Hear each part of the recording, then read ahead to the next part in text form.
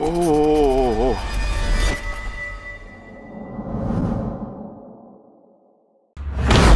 Hey, it's episode 87. And yeah, we're here in Copa, right? Yep. And uh, it's quite cloudy, but still 12 degrees, so it's fairly nice for Iceland. So he's gonna tell you a idea what we're doing. So I found this old HD camcorder that we used to film the documentary Freerun Iceland.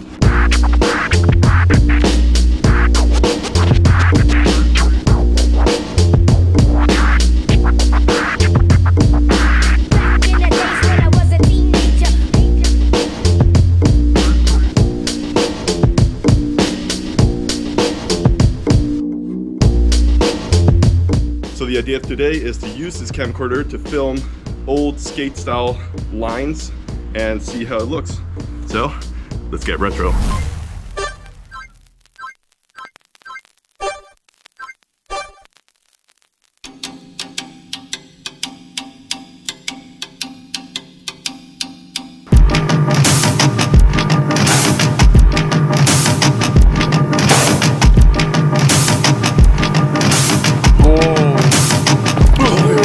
Okej, jag fattar inte. Sorry.